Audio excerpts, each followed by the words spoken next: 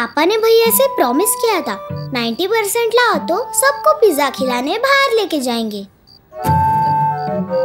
फिर आया रिज़ल्ट भैया के आए 88 और हमारे डिनर में आलू बैंगन। हाय, हमारी फोटे किस्मत। लेकिन माँ तो माँ होती है। उस दिन पता चला, माँ का प्यार पापा के प्रॉमिस से बढ़कर होता है।